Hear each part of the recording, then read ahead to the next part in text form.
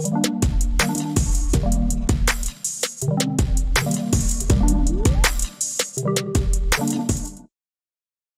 I'm out here at a job today in Seven Hills for an NBN customer who's with Optus.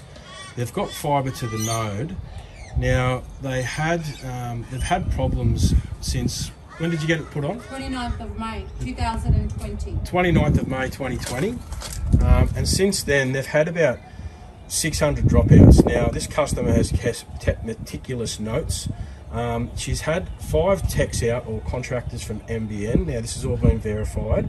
Um, she's also had Optus technicians themselves, four, come out. Um, and they've run a bunch of tests. The customer wants to say a few words later anyway, so I'll let her um, say what she needs to say. But this has been going on forever and she's extremely frustrated. Um, NBN, the tech, they've put in a new internal cable going to a new socket inside the house. Um, they've run all sorts of tests, changed ports over, um, done a whole bunch of things, but it, the problem just keeps persisting. It drops out like 10 times a day or something, does it?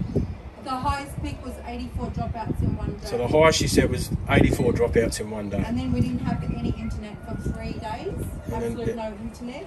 No internet sometimes for up we to three days. Four tickets raised for restoration um, for severe dropout issues. Yeah, so she's, they've had, been having ongoing issues for quite some time. So this is actually in the hands of the ombudsman now, um, and they've asked us to come out and investigate and find out what's going on.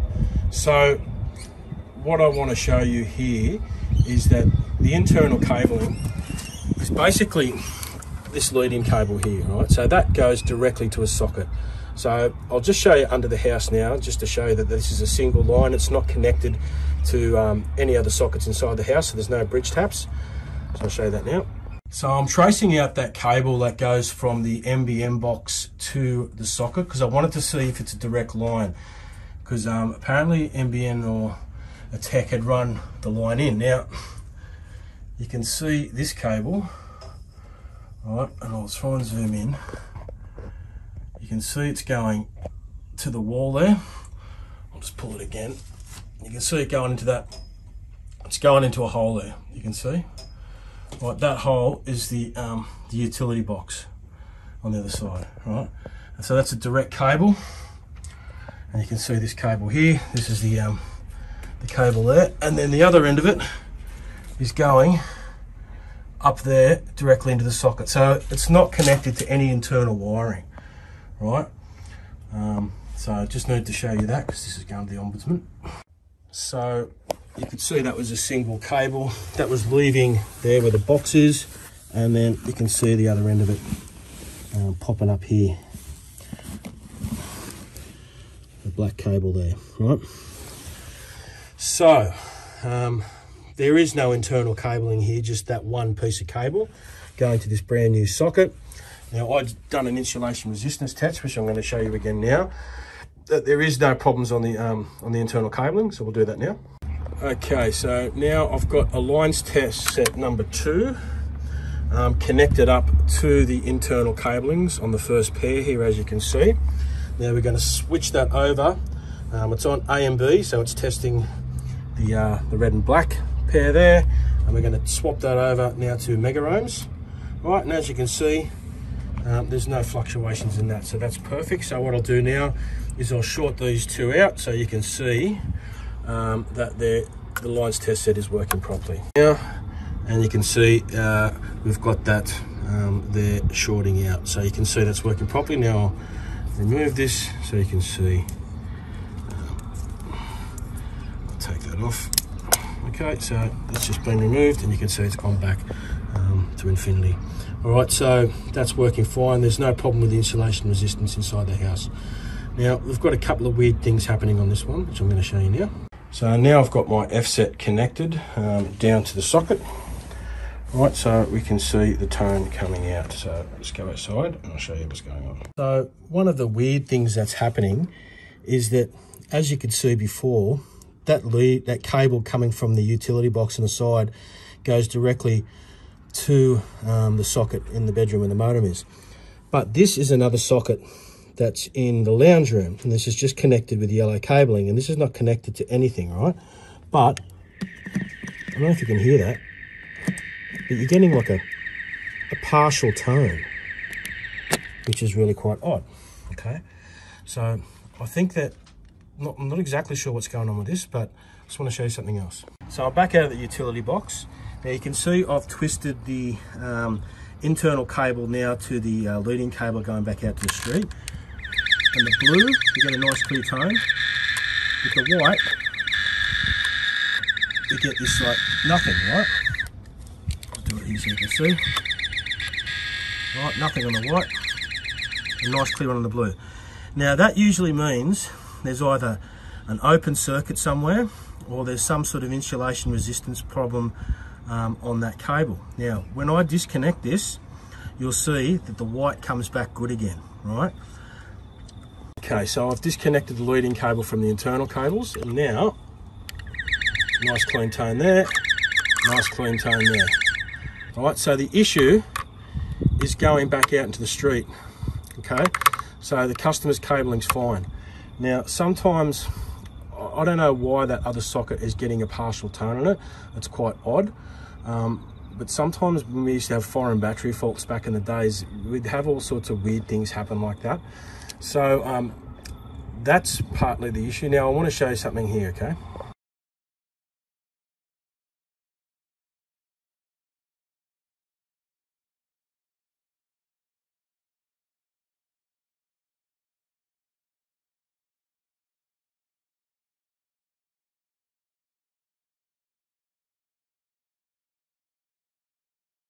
Right, so NBN had also um, apparently put in a new cable. Right, so this is coming in aerial. So it goes here, cross over this pole. Right, and then it goes to that can that's up on the pole, and then it runs down, and then uh, goes to a pit here. So I just want to show you something inside this pit real quick because I don't know what's going on here. Um, so basically, you can see this is what the cable, this is what the customer's cable is running through. Now, they haven't even put the cap back on this. Right, there was all slugs and stuff over this. Right. Now, if I pull that up and you can see the lid's down there in the clamp. Right, they haven't even put a lid on it. They've just left it like this. The amount of rain we've had in the last, you know, few weeks, um, I'm not surprised. Now looking inside this to see if there's gel. Well it's full of dirt. It doesn't look like there's any gel. Right. But that is just not on. So I'm not going to touch that. I just wanted to pop it open. I was just curious um, because this has been ongoing for, you know, it's almost come up 12 months.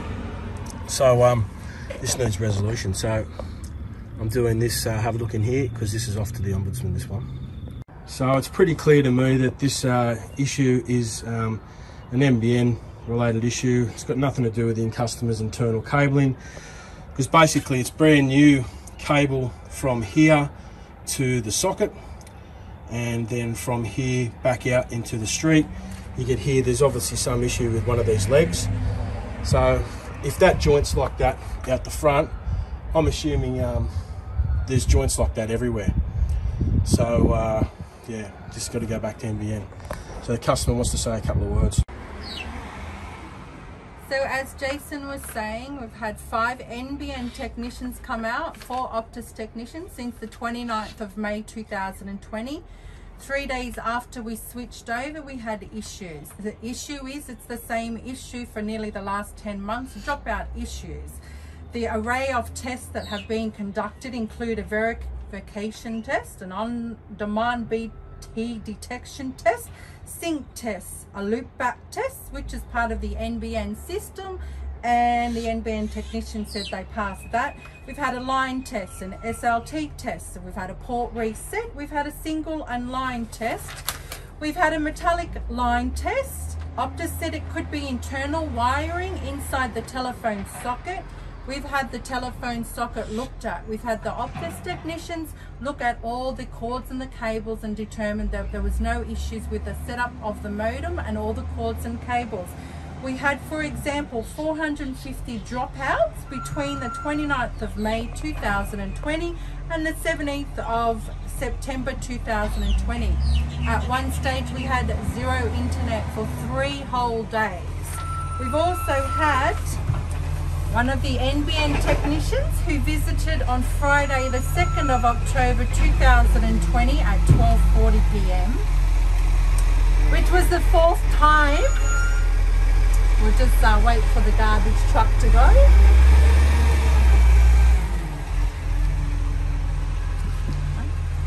which uh, at that stage that was the fourth NBN technician to visit so as we repeat Friday the 2nd of October 2020 arrived at my place at 12:40 p.m. he did some sync tests so um, I spoke with NBN Assurance directly myself on Tuesday the 15th of September 2020 at 3:22 p.m. I phoned 1-800-626-662. I was given this number um, out of frustration and desperation. Um, and there was a note left by Optus saying that the NBN technician who came out mentioned the line from the node to the house is faulty. Uh, at that stage, we had uh, for restoration, tickets for severe dropout issues have been raised.